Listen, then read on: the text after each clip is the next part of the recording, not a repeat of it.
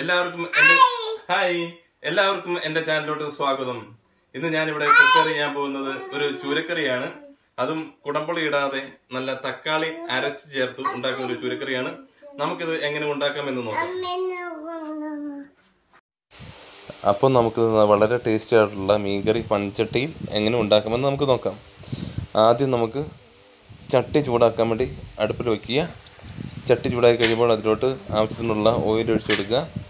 Oil ചൂടായി കഴിയുമ്പോൾ തന്നെ അതിലോട്ട് കുറച്ച് കടുക് ആഡ് ചെയ്ത് കൊടുക്കുക. കടുക് നന്നായിട്ട് പൊട്ടിക്കഴിയുമ്പോൾ അതിലോട്ട് ആവശ്യത്തിനുള്ള ഉലുവ ഇട്ട് കൊടുക്കുക. ഉലുവ ഇടുമ്പോൾ മൺചട്ടി ആയതുകൊണ്ട് പെട്ടെന്ന് കരിഞ്ഞു പോകാൻ സാധ്യതയുണ്ട്. ഉലുവ ഇട്ട ഉടനെ തന്നെ നമുക്ക് അതിലോട്ട് ആവശ്യത്തിനുള്ള വെളുത്തുള്ളി ഇഞ്ചി പച്ചമുളക് കറിവേപ്പില എന്നിവ ആഡ് ചെയ്ത് കൊടുക്കാം. ഞാനിപ്പോൾ ഒരു കിലോ ചൂരയാണ് എടുത്തിരിക്കുന്നത്. അതിലോട്ട് ഞാൻ എടുത്തിരിക്കുന്നത് അഞ്ചാറ് ഇല്ലി വെളുത്തുള്ളിയും ഒരു വലിയ കഷ്ണം ഇഞ്ചിയും നാല് പച്ചമുളക് കുറച്ച് കറിവേപ്പിലയാണ് ഇതിലോട്ട് ആഡ് ചെയ്തിരിക്കുന്നത്. ഇതിന്റെ പച്ചമണം മാറുന്ന വരെ വഴറ്റി കൊടുക്കുക. അതിനുശേഷം ഒരു വലിയ സവോള ചെറുതായിട്ട് അരിഞ്ഞത് ഇതിലോട്ട് നമുക്ക് ആഡ് ചെയ്ത് കൊടുക്കാം.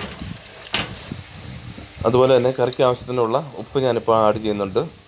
അതിനോടൊപ്പം തന്നെ ഞാൻ ആവശ്യത്തിനുള്ള മഞ്ഞപ്പൊടി അതായത് അര ടീസ്പൂൺ മഞ്ഞപ്പൊടി ഞാനിപ്പോൾ ആഡ് ചെയ്ത് കൊടുക്കുന്നുണ്ട്. സവള വഴറ്റുന്നതിനൊപ്പം തന്നെ. ഇപ്പോൾ തന്നെ നമുക്ക് മഞ്ഞപ്പൊടി ആഡ് ചെയ്യുമ്പോൾ സവള വഴറ്റി വരുമ്പോൾ നല്ല സ്മെല്ലും അതുപോലെ തന്നെ നല്ല വളരെ നല്ല ടേസ്റ്റി ആയിരിക്കും. സവോള നന്നായിട്ട് വഴറ്റി വന്നിട്ടുണ്ട്. അപ്പോൾ മീൻകറിക്കുള്ള മുളക് പൊടിയാണ് ഞാൻ ആഡ് ചെയ്തിരിക്കുന്നത്. നല്ല എരിവുള്ള മുളക് പൊടിയാണ്. ഒരു മൂന്ന് ടേബിൾ സ്പൂൺ മുളക് പൊടി ഞാൻ ആഡ് ചെയ്തിട്ടുണ്ട്. അതിനോടൊപ്പം തന്നെ ഞാൻ അര ടേബിൾ സ്പൂൺ മല്ലിപ്പൊടിയും കൂടി ഇട്ടിട്ടുണ്ട്. മല്ലിപ്പൊടി ഇട്ട് കഴിഞ്ഞാൽ നമുക്കിവിടെ മീൻകറിക്ക് നല്ല കുറുക്കം വരും. അല്ലെങ്കിൽ വെള്ളം പോലെ മീൻകറി കിടക്കും. അതിന് വേണ്ടിയിട്ടാണ് ഞാൻ മല്ലിപ്പൊടി ആഡ് ചെയ്തത്. ഇപ്പം ഞാൻ ചട്ടി ഓഫ് ചെയ്തിട്ടാണ് ഈ മല്ലി പൊടികളെല്ലാം മൂപ്പിക്കുന്നത്. മൺചട്ടി ആയതുകൊണ്ട് ചട്ടിക്ക് നല്ല ചൂടുണ്ട്. ചട്ടി നമ്മൾ അടുപ്പത്ത് തന്നെ വെച്ച് ചൂടാക്കുമ്പോൾ പൊടി കരിഞ്ഞു പോകാൻ സാധ്യതയുണ്ട്. ഇപ്പോൾ ഞാൻ രണ്ട് തക്കാളിയാണ് ഞാൻ ഇതിലോട്ട് ആഡ് ചെയ്യുന്നത്. തക്കാളി ഞാൻ ചൂടുവെള്ളത്തിൽ തിളപ്പിച്ചിട്ട് മിക്സിക്കകത്തിട്ട് അരച്ചെടുത്തതാണ്. ഇതിപ്പോൾ നമുക്ക് തീയിലോട്ട് മാറ്റി വെച്ചിട്ട് തക്കാളിയും കൂടി ആഡ് ചെയ്തിട്ട് നമുക്ക് മൂപ്പിച്ചെടുക്കാം. തക്കാളി നന്നായിട്ട് മൂത്ത് വന്നതിന് ശേഷം നമുക്ക് അതിലോട്ട് ആവശ്യത്തിനുള്ള വെള്ളം നമുക്ക് ആഡ് ചെയ്ത് കൊടുക്കാം. വെള്ളം ഞാനിപ്പോൾ ഒരു കിലോ മീനുള്ള വെള്ളമാണ് ഞാൻ ഇതിലോട്ട് ആഡ് ചെയ്യാൻ പോകുന്നത്. ഞാനിപ്പോൾ ഇതിലോട്ട് രണ്ട് കപ്പ് വെള്ളം ആഡ് ചെയ്യുന്നുണ്ട്. ഇതിപ്പോൾ നന്നായിട്ട് മിക്സ് ചെയ്ത ശേഷം നമുക്കിത് വെള്ളം തിളക്കുന്നത് വരെ നമുക്ക് വെയിറ്റ് ചെയ്യാം. ഇപ്പോൾ വെള്ളം നന്നായിട്ട് തിളച്ച് വന്നിട്ടുണ്ട്.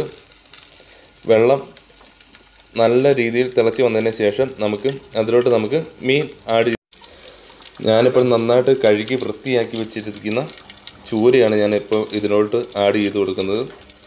ഞാൻ ഏകദേശം മീഡിയം ടൈപ്പിൽ ഈ വലിപ്പത്തിലുള്ള വലിപ്പത്തിലാണ് ഞാൻ കട്ട് ചെയ്ത് വെച്ചിരിക്കുന്നത്.